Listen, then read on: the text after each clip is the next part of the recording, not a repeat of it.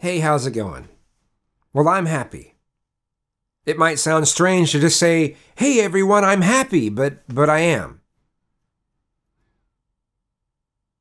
We all have issues, we all have flaws, we all have things we could work on. We're all human. And accepting ourselves is a really important thing. If you don't accept yourself, it's going to be kind of hard to be happy.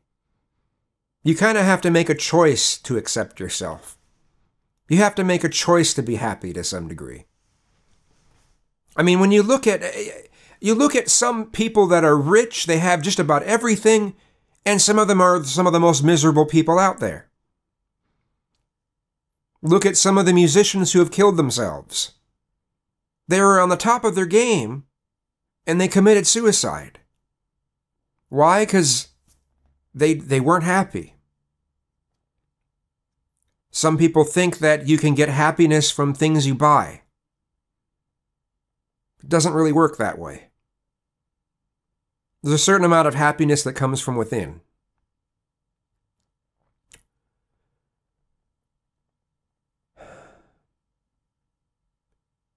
For me, I.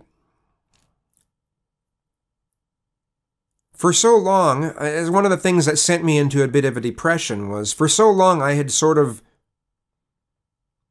based my self esteem on my appearance. And, you know, I liked being big. It was my thing. And then I eventually found out I couldn't do that anymore and, well, still live, you know? I, I was going to die if I kept up my the, the patterns I was. And uh, it took me quite a while to, to get back into feeling all right about myself. And it really, it's been just this week that it's really kicked into place. And then I realized, hey, I, I, I have to choose to be happy. There was a period several years ago that I that I realized this for for a period of time, but uh, I lost it, and it went back into the uh, the whole appearance thing. There's a song by Pharrell Williams called Happy. I believe it was featured in Despicable Me. It's from 2013. In 2014, I lived in an uh, I lived in a, in a different sort of living scenario. And there was some there was a group of people there that well, there are some stories that can be told, but uh, one of the main people there was trying to show me this that song and trying to say, "Hey, this this song makes me happy. This song is is the essence of of what I make my life."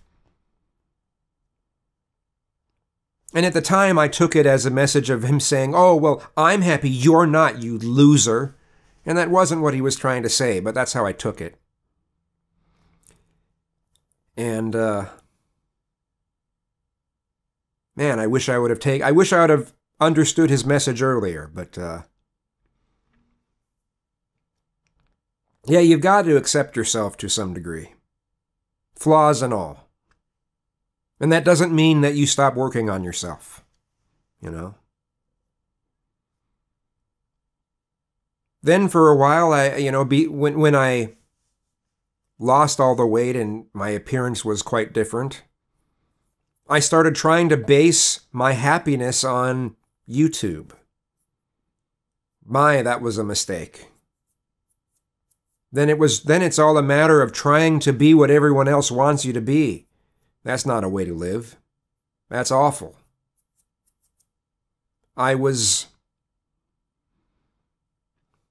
I was continually judging myself for simply being liberal. You know, I don't. One of the the key, the the cornerstone.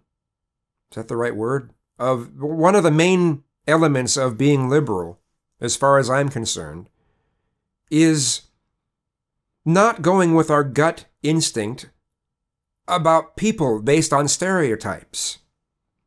And you got to use your brain to, to get to to look past these gut instincts that you have about things that people have no control over, you know? I mean, if it's something someone has control over, you know, that's a, that's a different story. Yeah, I'm, I'm going to judge someone who, who, who pushes out hateful messages. Yeah, I'm going to I'm going to be judgmental of that. I'm not going to be tolerant of intolerance. That's stupid. You know, but when it comes to things that people don't have any control over, yeah, it's it's foolish to be to be judgmental of people over those things.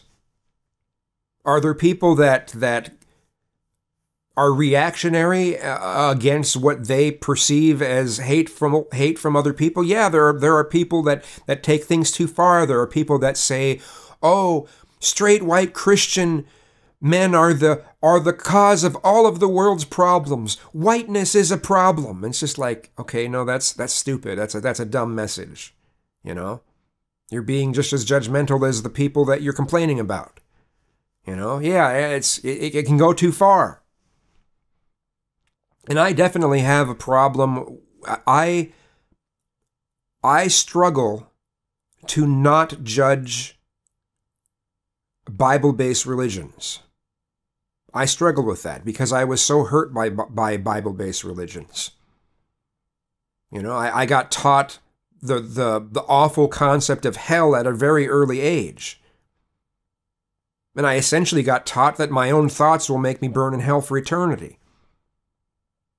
Then, of course, as a teenager, I get taught, a late teenager, I get taught that, oh, my attractions to men will make me burn in hell for eternity. You know, uh, the times that I've come the closest to suicide have been triggered by religious views, Bible based religious views. Yeah, so I have a hard time letting go of my hatred of Bible based religious views. It's hard for me. Some people it, it works out for. I, I, I must admit, I don't understand why anyone gay would would try to connect with it. I don't get it at all. It, to, to me, it seems like there'd have to be a certain amount of self hatred to connect with that. My hatred of Bible based religions is probably something I need to let go of. I need to let go of that hate. If I'm expecting other people to let go of their hate, I should probably let go of that hate as well. So, anyway, I guess I don't know what where more to go with this, so I'll just end the video. But it's really nice to to finally be all right with myself again.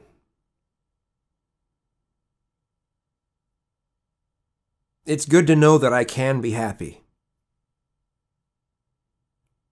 There was quite a period of time over this past year that I, I didn't think I would ever be happy again.